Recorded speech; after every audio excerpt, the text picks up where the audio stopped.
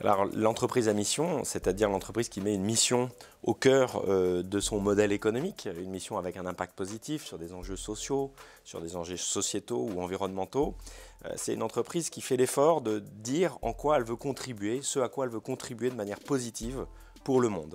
Et je crois qu'aujourd'hui ça résonne particulièrement par rapport euh, aux enjeux de sens qu'on cherche à donner à son travail, à sa vie, et, et que à la fois les nouvelles générations, mais mais tous les collaborateurs, tous les citoyens aujourd'hui veulent que l'entreprise s'engage. Ils attendent ça de l'entreprise.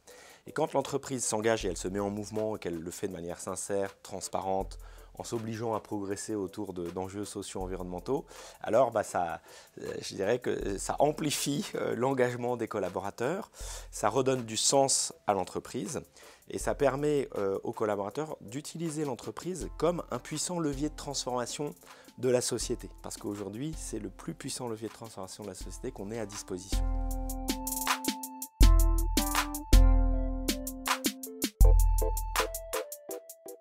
Alors, dans l'entreprise à mission, chaque entreprise définit une mission qui lui est propre, qui lui est singulière en fonction de son modèle économique, de la vision que portent les dirigeants, euh, les fondateurs, mais aussi les dirigeants actuels, sur la contribution positive qu'ils cherchent à avoir dans le monde. Donc, on peut tout à fait avoir des missions qui intègrent euh, des enjeux de santé, euh, des enjeux de bien-être des collaborateurs. Et de toute façon, on le sait aujourd'hui, l'entreprise, elle se transformera parce que les collaborateurs croient au projet et qu'ils ont envie de s'y investir. Et enfin, je pense qu'il y, a un point qui est assez essentiel, me semble-t-il. On, voit qu'à travers les études, aujourd'hui, il y a une montée des éco, ce qu'on appelle les éco-anxieux. 2,5 hein. euh, millions de Français sont éco-anxieux au point de devoir aller consulter. et, donc, je crois que euh, finalement, le meilleur remède contre l'éco-anxiété, c'est le passage à l'action.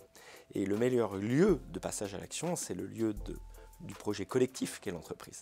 Et, donc, à partir du moment où l'entreprise s'aligne par rapport à des enjeux qui font sens et où euh, les gens ont l'impression, en venant travailler chaque matin, qu'ils contribuent à quelque chose qui est plus grand que les enjeux de l'entreprise, qui est plus grand que les enjeux d'un secteur, mais qui va contribuer aux grands défis qu'on a devant nous, qui sont des défis climatiques, de biodiversité, d'inégalité croissante, alors là, euh, il se passe quelque chose.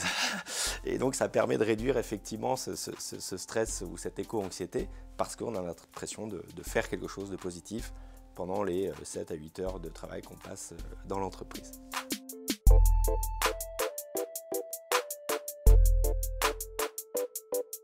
Alors, euh, l'adoption de la, qualité de société à mission, euh, d'abord, elle a pris du temps. Donc, c'était un chemin assez long où on a engagé justement les collaborateurs et l'ensemble des parties prenantes de CAMIF à définir finalement la mission de CAMIF. Quel impact positif on cherche à avoir pour la société?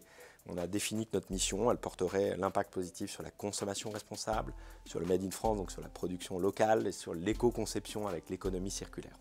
Et en, fait, en, en termes d'impact, l'inscription dans les statuts qui a eu lieu en 2017 suite à deux ans et demi de travail et d'itérations successives avec les collaborateurs, a vraiment mis en mouvement l'entreprise et accéléré la transformation du modèle CAMIF euh, en développant des produits plus éco-responsables, en euh, allant très loin parfois jusqu'au boycott du Black Friday, donc en renoncement très fort, mais qui ont créé beaucoup de fierté à l'intérieur de l'entreprise parce que voilà, on, s'engage et ça a été un marqueur très fort de notre engagement sur la consommation responsable.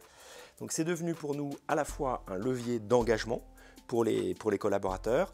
Ça a eu beaucoup d'effets positifs aussi sur la marque employeur, mais également un levier d'innovation pour inventer de nouveaux modèles, inventer de nouvelles pratiques, davantage de coopération avec l'ensemble de notre écosystème pour développer des produits économie circulaire. On ne peut pas le faire tout seul, on a besoin des autres. Euh, et, puis euh, un changement de métier qu'on a accompagné aussi avec de la formation auprès des équipes, puisqu'on est en train de passer du métier historique de Camif de distributeur à un métier d'éditeur. Et enfin, une, performance économique, puisque depuis 2017, on a accru de 44%. Donc quelque part, tout ça, c'est pas fait au détriment de la valeur économique. Hein. Le projet d'entreprise, c'est aussi créer de la valeur, créer des valeurs au fond, une valeur euh, économique, mais également sociale et environnementale.